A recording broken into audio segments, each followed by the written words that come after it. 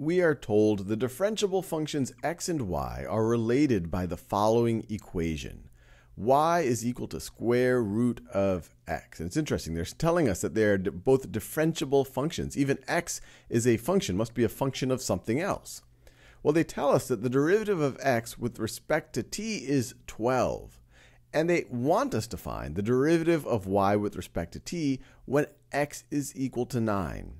So let's just make sure we can understand this. So they're telling us that both x and y are functions. Arguably, they're both functions of t. y is a function of x, but then x is a function of t, so y could also be a function of t.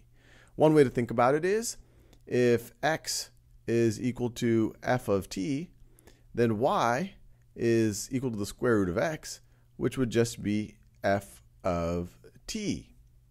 Another way to think about it, if you took t as your input into your function f, you are going to produce x. And then if you took that as your input into the square root function, you are going to produce y.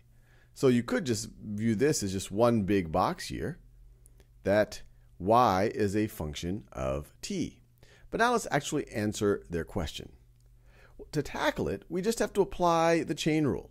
The chain rule tells us that the derivative of y with respect to t is going to be equal to the derivative of y with respect to x times the derivative of x with respect to t. So let's apply it to this particular situation. We're going to have the derivative of y with respect to t is equal to the derivative of y with respect to x. Well, what's that? Well, y is equal to the principal root of x. You could also write this as y is equal to x to the 1 half power we could just use the power rule. The derivative of y with respect to x is 1 half x to the negative 1 half. So let me write that down. 1 half x to the negative 1 half. And then times the derivative of x with respect to t, times the derivative of x with respect to t. Well, let's see. We want to find what we have here in orange. That's what the question asks us. They tell us when x is equal to 9 and the derivative of x with respect to t is equal to 12. So we have all of the information necessary to solve for this.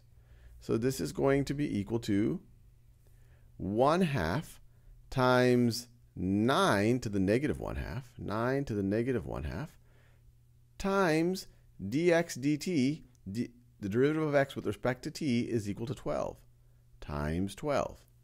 So let's see, 9 to the 1 half would be 3. 9 to the negative 1 half would be 1 third. So this is 1 third. So this will all simplify to 1 half times 1 third is 1 sixth. So we could have a 6 in the denominator. And then we are going to have a 12 in the numerator. So 12 sixths. So the derivative of y with respect to t when x is equal to 9 and derivative of x with respect to t is 12 is 2.